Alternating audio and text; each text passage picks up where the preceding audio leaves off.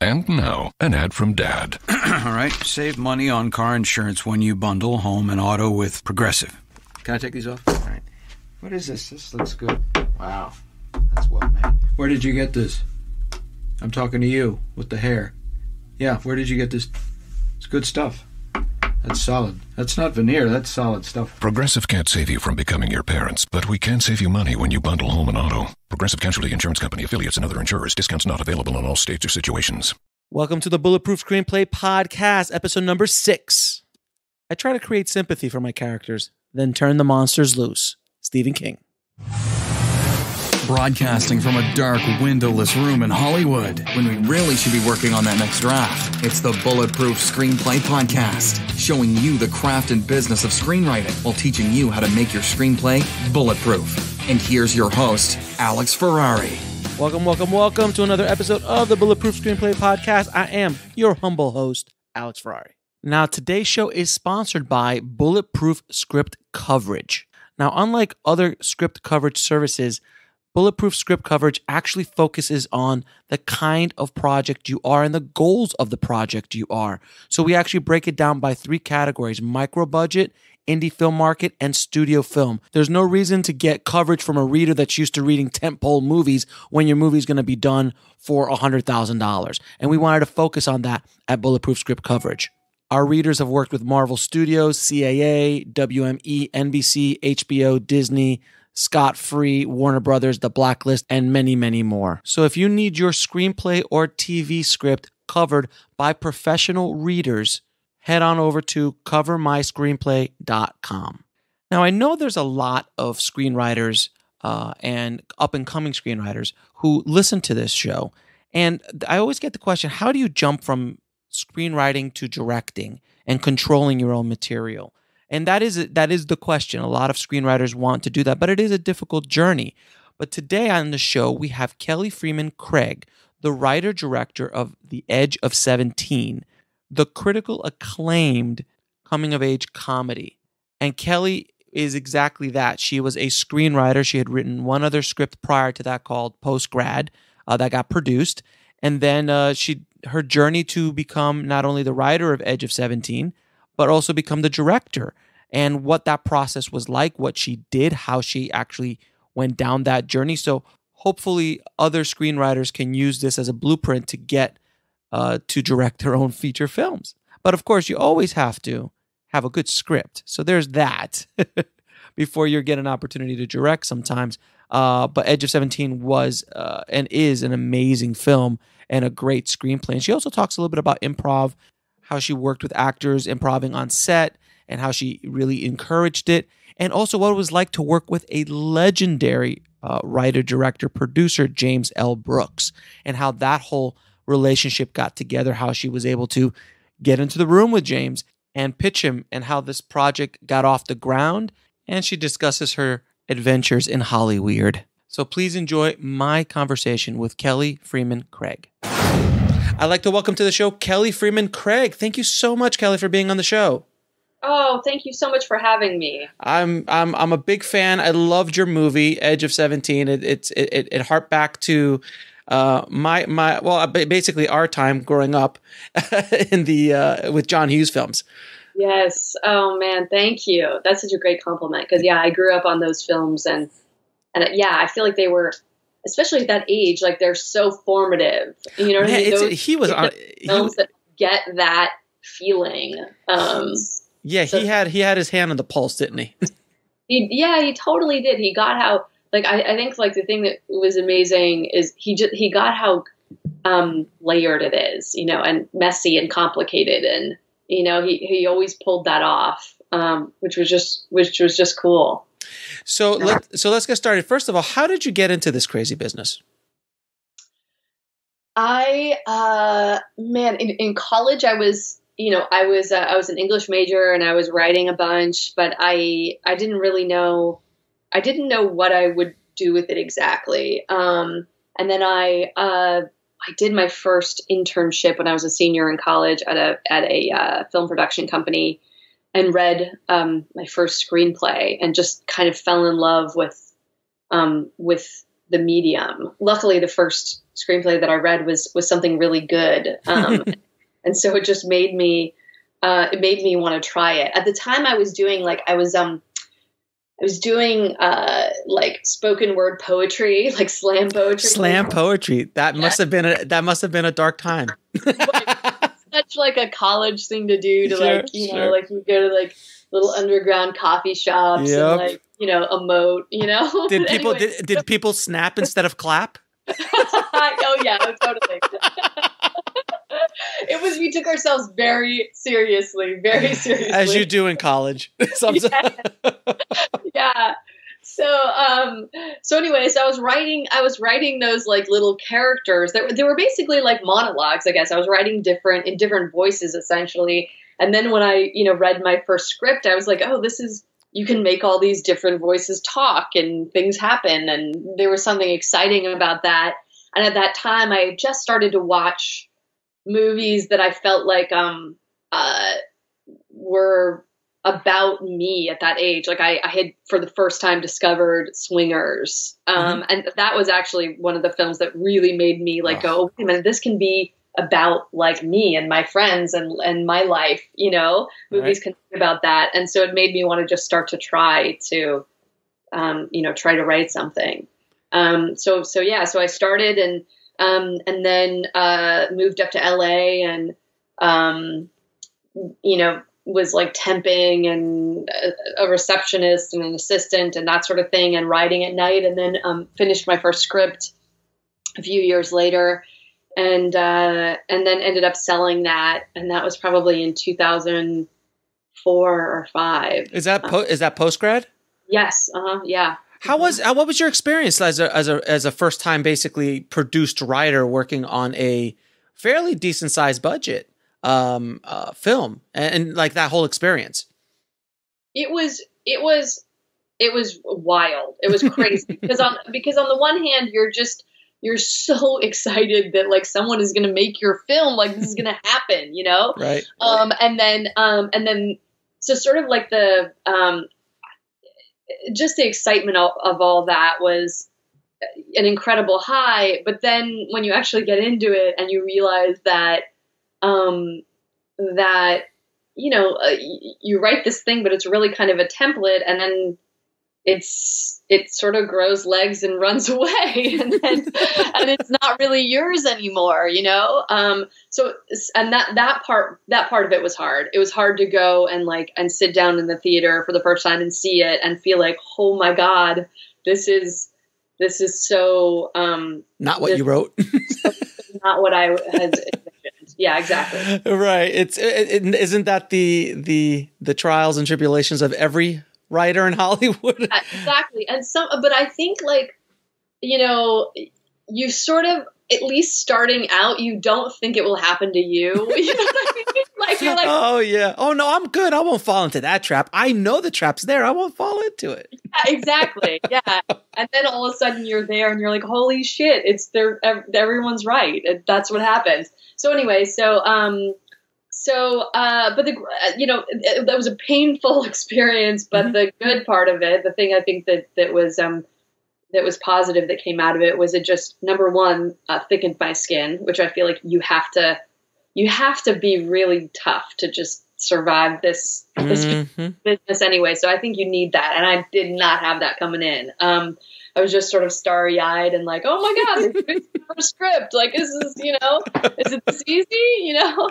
Right. Um, but that, yeah, that was, that was, uh, very quickly replaced by, you know, cynicism.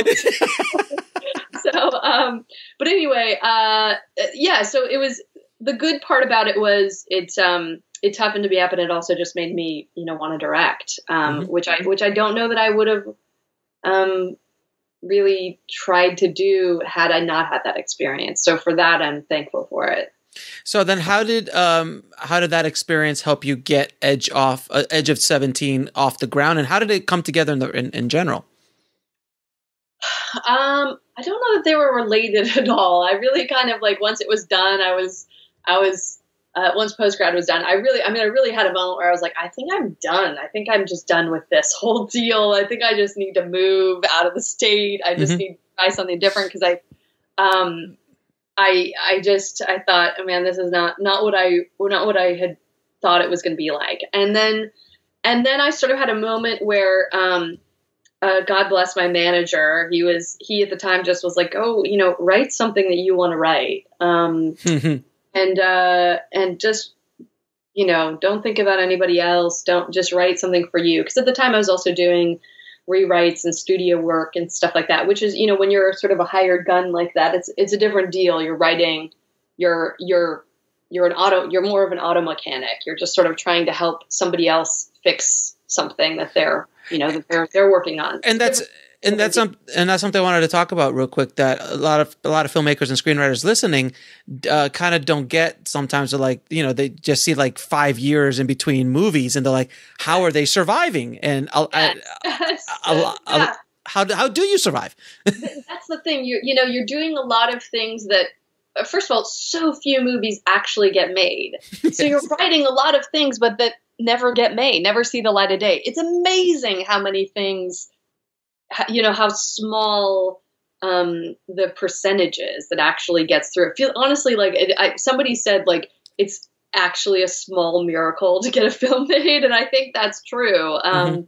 It's a, it's really, uh, it, it's a, it's a feat. So there, so anyway, so there was a lot of time in there where I was just sort of writing for doing those type of things. And then there, and then there was sort of the moment where I kind of stopped everything and went, all right, let me just go and write something I, I really care about and just write it for me. And then that was, um, that was, that was Edge of 17. And then how did it come together? How did you get hooked up with, uh, that little producer's name's Jimmy? Oh Jim- yeah. I don't know if anyone's heard of him, but, um, uh, James L. James L. Brooks for everyone listening. yes. Yeah. I, you know, um, so I had uh, he was he was just like the guy that I there's uh, really and there still is nobody that I admire more in mm-hmm. the business. Like he's so his films are so I, I, I think on so many occasions he's made literally perfect films. Mm-hmm. Oh yeah. And, and um, so I just had always worshipped him. And when when I wrote this, um, uh, we decided to take a shot and send it to him, even though it was like, it was, you know, everybody prefaced it with, this is never going to happen. Like, just, just so you know, like, it's not going to happen, but we'll try, you know?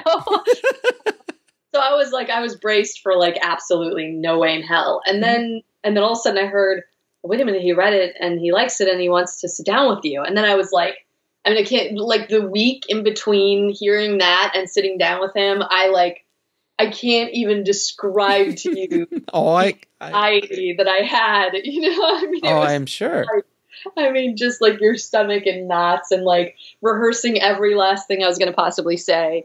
Um, and then, um, and then I, uh, I sat down with him and, um, and I also in my mind had decided that, you know, I really wanted to direct it. I really wanted to hold on to it. And I had decided that at some, some point down the line, once I had hopefully, you know, uh, buttered him up, I could, could convince him that uh, that I that I should do it.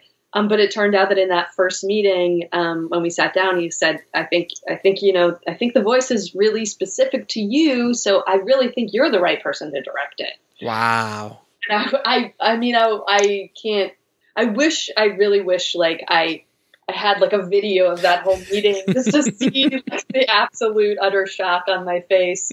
Um, so um, so anyway, yeah. So I uh, and then um, it ended up that we, you know, he he held to that and we we went and made it a few years later. So yeah, I wanted to ask you because a, lot of film, a lot of screenwriters kind of don't understand the, the business side of it in the mm-hmm. sense of from the first draft to first day of shooting. How many years was that? That was four years. So I, I preach a lot of the the grind and yeah, and the hustle absolutely. that you have to do and and you have to show up every day and you have to keep pushing every day. Amen. Because you know what? The thing is, like, I think it's very easy when you see something on the internet or something, you think a person is just like, you think it's just happened overnight. like, it seems like it. Right. It's just like, oh, it's just happened but yeah, you, you don't see the like years and years and years of work to get it there, and the and the amount of no's that you have to turn into yeses, and you know what I mean. There's there's a whole big mountain to climb to, to get there. You know, Yeah. it's it's it's fa- it's it's fascinating. Most of it, yeah, Yeah. most of the job. It's fascinating that a movie like Edge of Seventeen could get made, uh, just in general, because you know, in today's world of of you know multi blockbusters, um, that a studio could get behind a, a film like that is is awesome. But yet, also that whole that whole uh, development stage. How many projects I'm sure have you heard about from other people or have been involved with that go through that development stage and just die like five years in? They're like, oh, there's a change in the studio, or all Oh, of it, yeah. it just goes away, and then you're just heartbroken. Yeah, I mean that's the thing. I think it's it's so many different things have to line up for it to work, and and it's also you know, I think you have to um, you have to care about the film that you're making so much that you are able to withstand the the the the the slog of it you know The brutal, the brutality. yeah exactly and just the you know i mean also just having to live with live with it for four years and love it still and Mhm. be passionate about it still even after you've been so in it that you can't you know what i mean i mean Mhm. it's like when you're in the editing process like by the time you you you know you get to your test audience you've seen the movie like 500 times so every joke like nothing makes you laugh nothing makes you cry like Right. there's you don't feel a damn thing because you're just you're desensitized because you've spent so much time with it you know Mm-hmm. um, and you somehow i think have to be able to get through that and and reset and reset and constantly somehow like freshen yourself to experience it emotionally new over and over and over again and that also i think is something people don't really talk about as part of the process you have to like be able to show up and feel it again and again and again and again you know Yeah, you know, you get null to it. You get dull. It, it just you, it nullifies your feelings towards it because you know. I mean, I've been editing for twenty years, and sometimes when you're on a project and you edit a feature again and again, like you Oh, forget the jokes. What made you laugh three months ago doesn't make you laugh now. now it just yeah now it just makes you want to like you know bang your head against the wall and you know that it's yeah it's it's really it's uh yeah it's a the, part of it is really exactly what you said it's it's the grind of it it's hard yeah Now, what was it like working closely with James uh, Ellis Brooks? I mean, he's uh, obviously a legend in the industry. What was it like working with a legend? You know, what's amazing to me is that, you know, sometimes you meet your you meet your heroes, you meet those legends, and you're like, oh, he's just, you know, a mortal man. He's, you know, like, yes. but with Jim, I swear to God, it's like the closer I got to him, the more I just was enamored and blown away by his his genius. Like he's he's literally he's a genius. Mhm. He's he's also like I've never seen anybody who has a more lightning fast mind. That's the other thing. Like he's he is able to um he's able to articulate things so beautifully and poetically and and hilarious and in the most hilarious way imaginable and off the top of his head in like a half a second. And I don't there's so few people on earth that can do that, Mhm. you know. And he can also distill something down to its essence in a second and a half. And he's I mean I on I just I feel like I'm I it's I only am more um I only worship him more. I'm only more in awe of him. Um I feel so lucky that I got to be in in the presence of that, you know?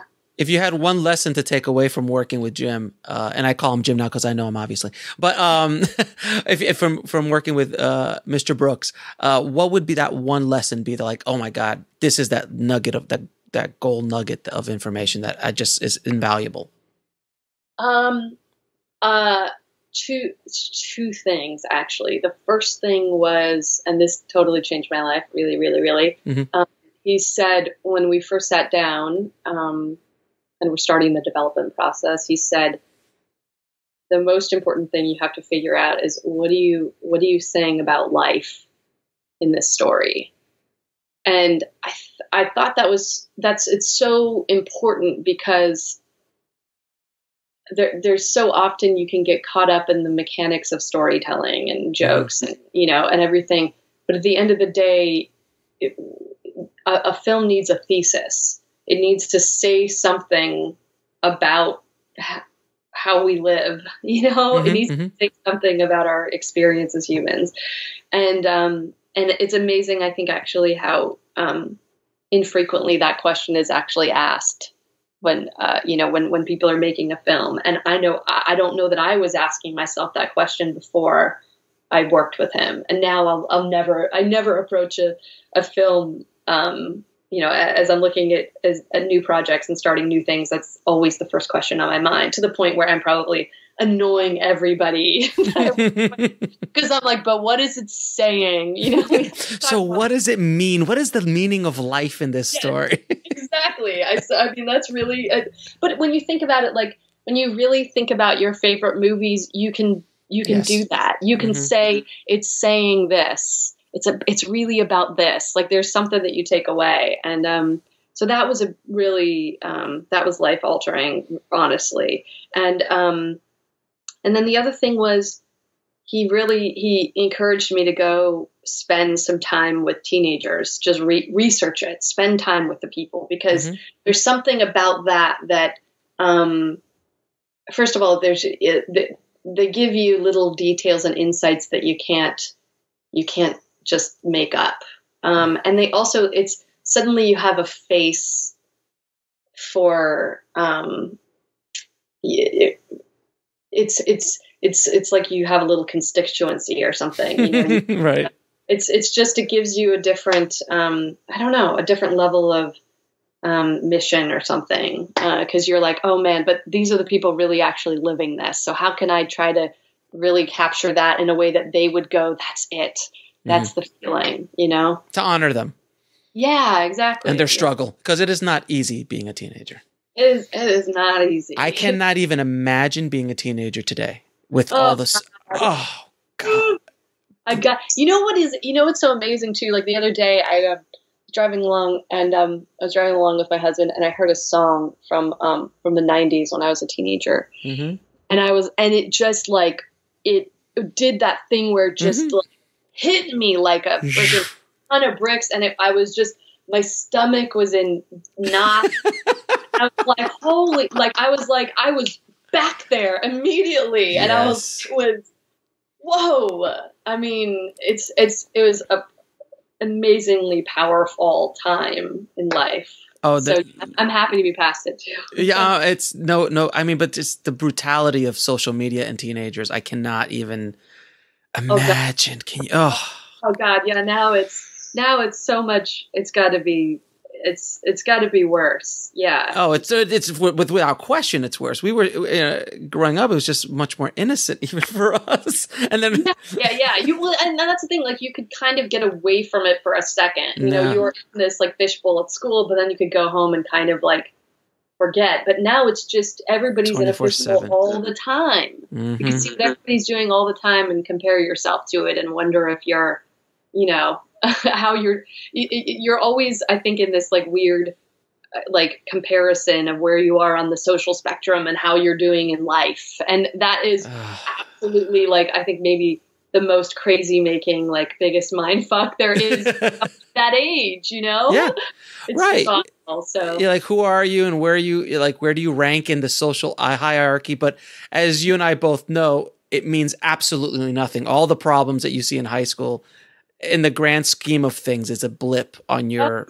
yes uh, exactly yeah it just feels like the end of the world when you're there yeah Oh God! Oh, I, I didn't get I didn't get that A. I didn't get that B. Really? Yes yeah, exactly yeah Uh, so now you worked with some fairly popular and legendary uh, actors as well, uh, and you were a first-time director. So how was it? Like, how do you direct Woody Harrelson and Kedra Ced- Ke- Kara, uh, Cedric? Oh man, you know, so this is also a credit to Jim. Um, when we when when when I was gearing up to um, to go into production, um, Jim said, okay, the thing we've got to do is we've got to go sit in the back of Larry Moss's class. Now, Larry Moss is a he's a very famous acting coach. He's he's you know he's he's coached like Leonardo DiCaprio and mm-hmm. he coached Helen Hunt and As Good as It Gets and mm-hmm. um, and he he puts up these um, these classes where essentially like actors go and they they put up a little they put up a, a scene from a movie or a play and and then he directs them. And you see something just bomb. And right. then you see him give these adjustments where all of a sudden the scene just like just bursts to life. It's amazing. It's amazing to watch the transformation. Um, so sitting and watching like a master do that and you know and really watching him for hours. Mm-hmm. honestly that was that gave me I, I i had something to shoot for. I had something to go okay that's the thing to be after. Um, and i think and and that helped me tremendously. Um, because i think had i not had that experience um, I, I think i probably would have gone into um, gone into the gone into production not necessarily a little bit rudderless, not knowing what the thing to shoot for is, mm-hmm. you know, not knowing what good directing really looks like. Mm-hmm. You know what I mean? Mm-hmm. So, um, so honestly, I think that that helped tremendously. I mean, no matter what, it's still Woody Harrelson, and I mean, you know, I mean, when the first time I met him, it's like it's terrifying, you know, you're, you're like Woody Harrelson, you know. Um, but he's also such a just cool, warm, wonderful person that he he helps that melt away really easily. And he's also somebody who's really committed to the work, doing great work, you know? So mm-hmm. that makes it easier because everybody's sort of wanting to do the same thing. Um, so yeah. He keeps he keeps kind of like he he keeps the um he puts the bar high. Yeah. Oh yeah. Yeah. Now, um, do you have any tips on how, like, how do you actually adjust, you know, a, a movie star as opposed to, you know, is there a difference or is there, are they just actors when they're on set with you? And I know that's kind of a weird comment, but do you know what I mean? So sometimes there is that baggage of a, of a movie star as opposed to just an actor trying to get a scene with a director. Uh, do you talk to them beforehand? Because I, I, I had another director on on first time director on, and he had a movie. He did a movie with John Malkovich, and he actually asked John Malkovich, "How do you want to be directed?" Because it's John Malkovich. I mean, seriously. Yes. Yeah. Yeah. What a great question. Yeah. Question. How do you want to be directed? Because you know, I'm not going to sit here and give you motivation. That's why I hired you. You are Woody right. Harrelson. So, like, yes, are yeah. there any techniques or tips that you can kind of throw at us? Um, you know, I I oh, I really always try to do it as as a um as playing and trying things, you know, mm-hmm. an exploration. Mm-hmm. So my approach is it's never like I, am never like you did that wrong. Can you do it this way? This is the right way. I'm I'm everything is like, hey, let's um, can we try one where we do blah blah. Um, let's try this this time. Let's try that. Let's try let's try these different things mm-hmm. because that to that to me, at least if, if, I'm imagining myself in an actor's shoes, that's an exploration. That's mm-hmm. not you know, you're messing up. Could you do it? Could you do it right? You know what I mean? not the not the Kubrick way. right.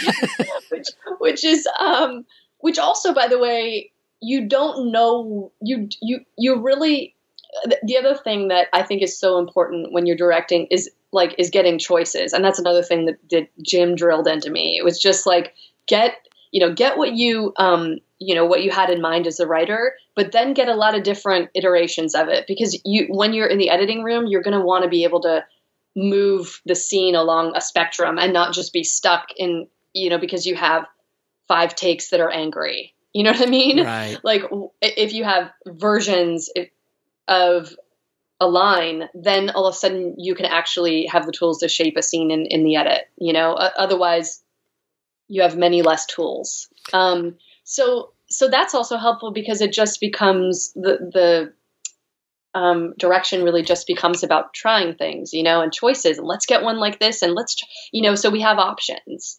Okay. Um, and I think that also that just that eases everything off. um, that eases the pressure off and also gives um, I think the actors permission for them to try things. That's the other thing. I want that. I like. I never give direction in the beginning um, of a scene. Like you know, we'll go over the blocking, but I tried never to. You know, I tried never to say anything because I loved what they would come out with. You know, I Mhm. loved watching. Oh, that's their interpretation of that, and sometimes it's it's much better than what I had imagined. So, Mhm. um, so it's nice to just let everybody um, explore and play. y- play. I Yeah, mean, we're making a movie for God's sakes. yeah, exactly. yeah. Now, how much improv was there on set? Um, uh, it, it depended on the actors. Um, uh, Hayden Szeto, who plays um, Erwin, uh, he's just he's such a wonderful improviser. So, uh, and so I mean, really everybody was. Hailee is a wonderful improviser Mhm. as well, and would I, I really, you know, everybody on there was. Um, but I would say probably with with Hayden. Um, it was just really fun to let him riff Mhm. like do his nervous riff because they would just they were so endearing that if I just let the camera roll or I just say, okay, you know, just try try something, try something, um, try whatever you want to do. Like let's shake it up. After after I had this scene, letting him kind of just play um, really really resulted in I think some great little moments that are that are in the that are in the movie that wound up in the movie. Um, you know, when he yells off the uh, the Ferris wheel, Yes. fucking right. That's that's his impro. That's him improvising. Um, so, you know, um, so and there's so and her laughing is her genuinely laughing because you know. But anyway, so but that's um, the best. But that's that's perfect because they're not acting anymore. They're Exactly. Yes. Exactly. So, like, so I, to me, like, to give everybody a lot of room to just try stuff and play is, I, I I found um, was really the, the the best way to do it. Um, or for me, the, the um, I don't. I, I found just it, it allowed everybody to use their talents to the you know to the best of their use the best of their talents. Of course. Now, I, I'm just curious because you were talking about uh, you said the word camera. Uh, what did you shoot this on? Because it looked gorgeous. Oh, thank you. It was uh, Alexa. That's what I thought. yeah, it, it looks it looks very very pretty. Oh, thank you. now, um, do you think writing is a good doorway into getting into a directing job? you know, I I have to say I don't know how anybody gets into directing without writing, but maybe only because that's my own process. But I um I absolutely think that that's a great way to get into it because if you write a piece of material that that people like, uh, the great thing is that you can have le- you know you have leverage because it's yours, and you know you can more easily say, well, I, but I'd like to direct it, you know, and that's you know it's a everybody has a hard time taking on a first time director. Um, it's nerve wracking for everybody, but um, but I think if you if you've written the material, then you automatically have you're automatically closer to it. You have more of, it, um, of an intimacy with the characters and everything else, so you can make a good argument why you're the right person to, to do it. You Kind know, of the Frank Darabont way of going about things. yeah. yeah, you know. I mean, I'm assuming you know that story, right? I, I don't tell me. This, uh, so I- obviously you know who Frank Darabont is, Yes, uh, yes. and and Shawshank. They offered him uh, high seven figures Uh-huh. for Shawshank, as they Okay. should, because it's arguably one of the best Yeah. movies ever made. Um, and he said, "Nope, I have to direct." So he ended up with two hundred fifty thousand dollars for the script, and then he got to direct. Man, I, and best best decision ever. Best, he's like, "I'm going to be a director, and this is what this is how I'm going to roll." And Yeah. God, God bless him, he turned down the money, but in the long run, it was a great investment in himself, That's right. Yes, exactly. and arguably turned out one of the greatest movies ever made. Yes, ex- yeah, yeah, exactly. now, um, uh, what are some of your writing and directing influences? Um, uh, Jim Brooks, obviously. Um, Mhm. Cameron Crowe, Alexander Payne.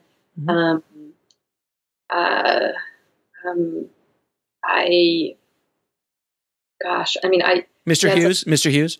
uh, yeah, uh, for sure, John Hughes. Yeah, um, yeah, I, um, oh, um, uh, Richard Linklater. Like, I love, I love um, Before Suns or Before Sunrise. Oh, that whole that whole that whole series is so beautiful. that whole series is so good. And they just wrote it with the he wrote it with the actors.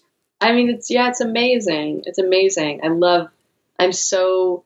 I mean, there are certain filmmakers that I'm just so. Um, I'm I like so thankful for them. You know what I mean? I'm so. thankful. I feel like every film is just um, a gift. You know, I, I'm Mhm. I'm I don't know. So um, so yeah, those um Those are some of the guys. big influences. Yeah. Now, what is the biggest lesson you took away from making Edge of Seventeen? Um, man, it was you know it was there were so many because it, it's just it's a steep learning curve as a first time director. So it's just every single day you're learning something new. Mhm. Um, but um, but uh, I think I think ultimately that um,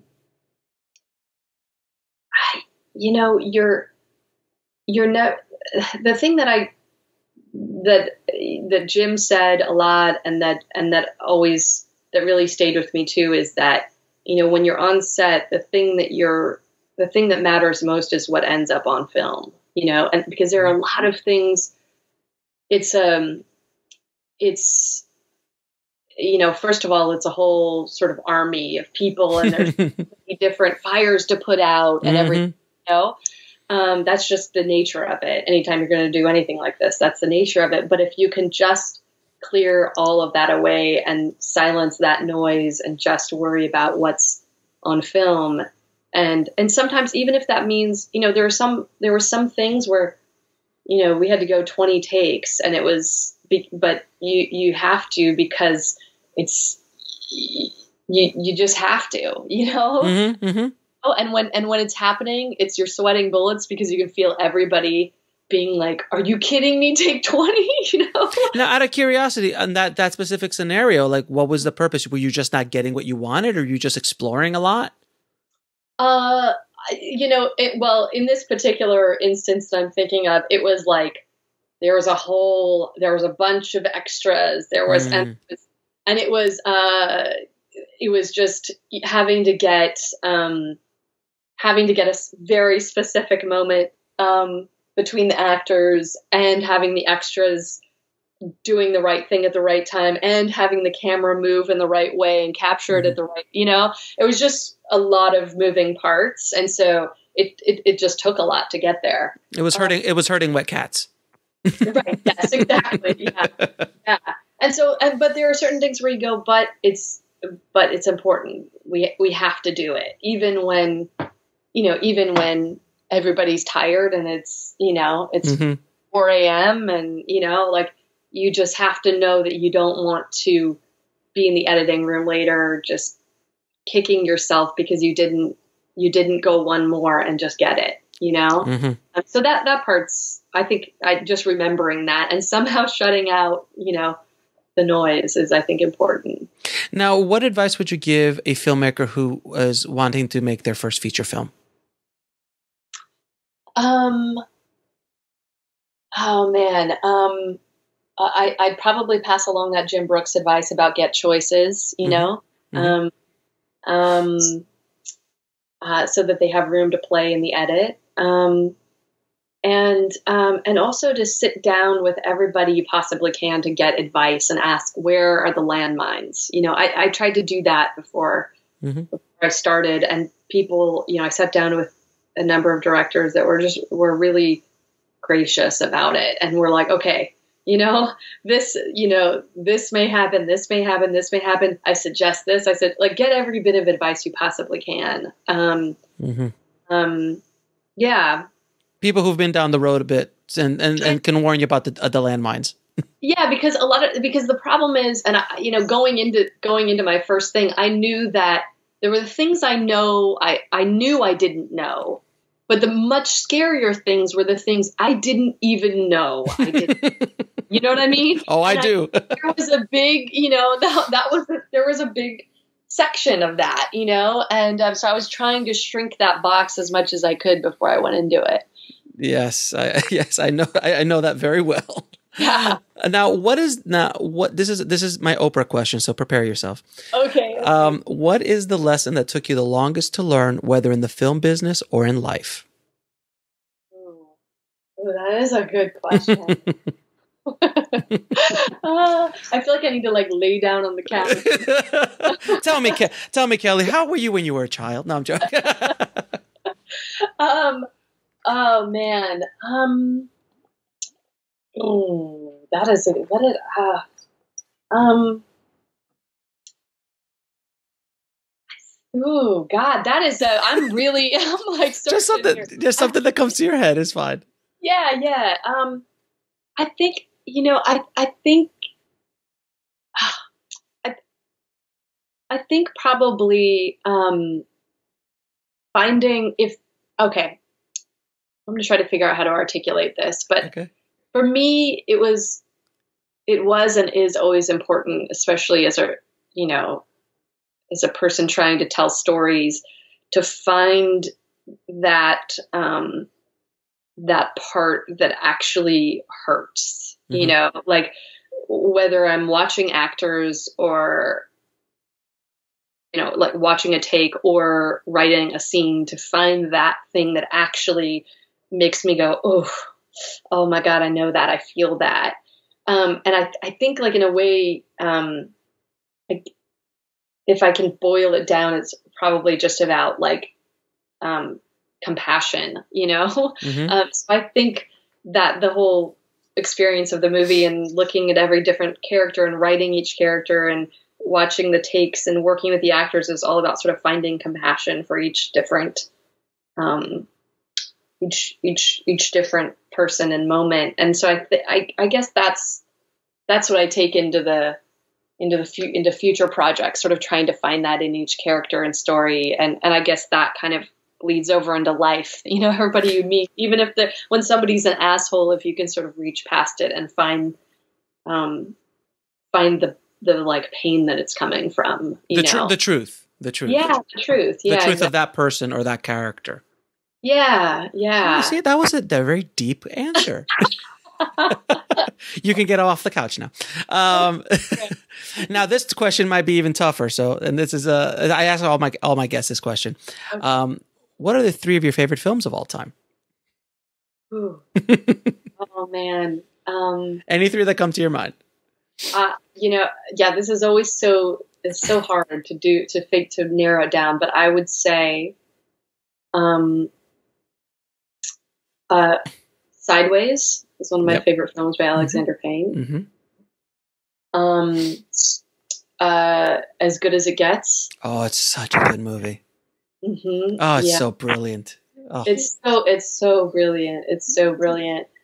Um, and uh, and I'd say The Breakfast Club.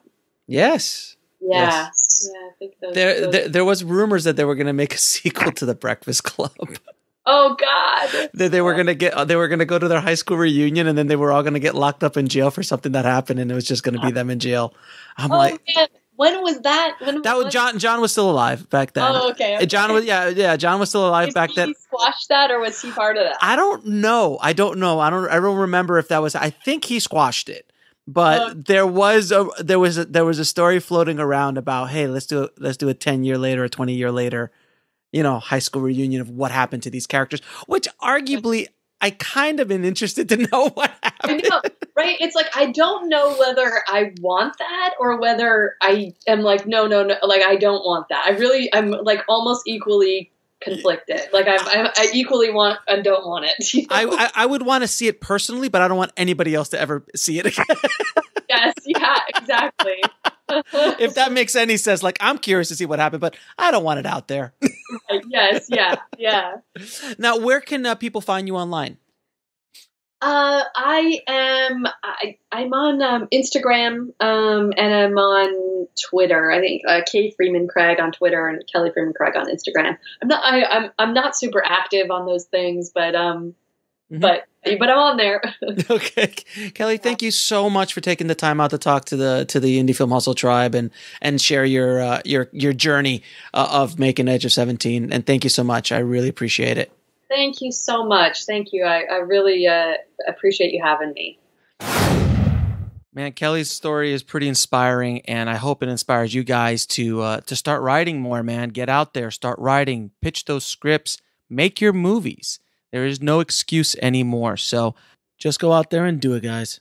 Now, if you want links to anything we talked about in this episode, head over to indiefilmhustle.com forward slash BPS 006. That's B Bulletproof Screenplay BPS 006. And guys, thank you so much for the warm uh, welcome. Uh, the the subscriber base has grown so fast, and we're getting downloads like crazy. People are talking it, retweeting uh, the show already. So thank you so much. We're already getting to that almost that top spot in iTunes under screenwriting, and we're actually I think like number two for um for filmmaking even. So that's really really exciting. And again, I want to get this information out to as many screenwriters um, and filmmakers as possible. So if you're listening, please tell five friends about the show and uh, and have them tell five friends and so on and so on so we can get this information out to the people that need it. And if you haven't already, head over to screenwritingpodcast.com and subscribe on iTunes. So as always, keep on writing no matter what. Talk to you soon. Thanks for listening to the Bulletproof Screenplay Podcast at bulletproofscreenplay.com. That's B U L L E T P R O O F S C R E N P L A Y.com. Get to Old Navy now because this week only there's a new red hot deal every single day. Plus up to 50% off store wide. That's up to 50% off your favorite Old Navy styles. Also get $10 off your next purchase when you buy online and pick up in store. So hurry in and get today's wow worthy fashion pieces at a price you won't believe. Only at Old Navy. Valid 712 to 19, select styles only. $10 off valid in store only. One time use excludes clearance, gift card, register lane items, jewelry.